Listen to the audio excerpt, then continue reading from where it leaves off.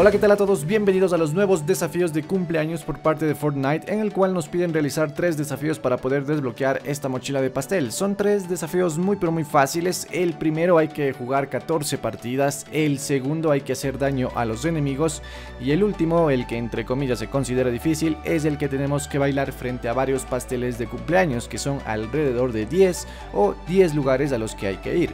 Recomiendo hacerlo en un modo 50 vs 50 si quieren hacerlo rápido y si no pues ya queda a elección de ustedes. A continuación les dejaré los lugares precisos en donde están ubicados estos pasteles de cumpleaños. No se olviden de reventar ese like y les dejo con las ubicaciones.